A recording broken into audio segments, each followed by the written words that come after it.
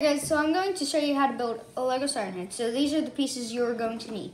So first, you take these pieces, put them together, take some two of these pieces, stick them on like that. All right, let me get the other piece. Names. I don't know the names, you dummy. and then you're gonna take these pieces, put them on the side like this. And then you're going to take a piece that looks like a jumper plate. Um, and you're gonna need two more for the back, for, the, I can't speak. For another part. Yeah, guys, he can't speak today. Yeah, I Yeah, in our last video, he can't speak at all. Right. And for the for the feet, you're going to need two little cubes, I'm guessing. And you put them together. Stick them onto the um, Lego figure legs, like that.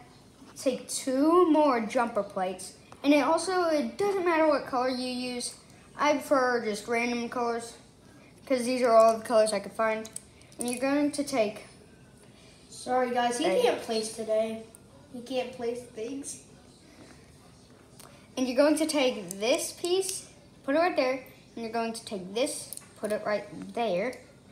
To make his arms longer, you're going to take a three by three, put it right there, take the arm off, and take a one by one um, square stud, put that on right there. I didn't even get it on. And then take a claw that looks like this, and place it on like that and there's one of his arms. And do that for the other side. Technical dis- um, issues. ah! Yeah, it's technical issues. Alright, so now I've got that done. Oh, dang it is on.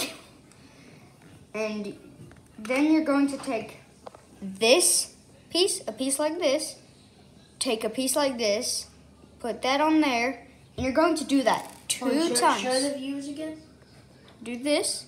You're going to do that two times now, and you're going to take those two pieces, stick, stack them like that on top of that, and then you're going to use that jumper plate right there, and you're going to stick the head on like that, and you have your own little siren head.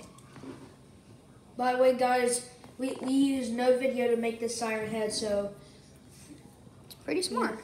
yeah. Well, now these viewers can use the video to make this siren head. Yep.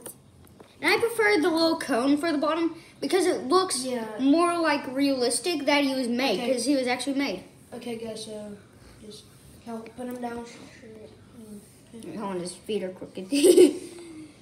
And by the way, can I show him how to move, move the arm?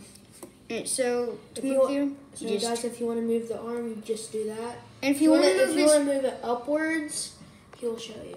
You just take apart this piece and you place it on like that, and then do that on the other arm. You can take the arm off if you want to while doing that, Yeah. and then just do that. So And now you can make him. And if he, and if you want your siren head running, wait, you can um just pose the um legs, and then it looks like he's running like a regular Lego figure.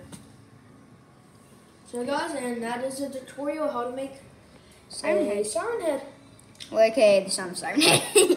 So, guys, peace out.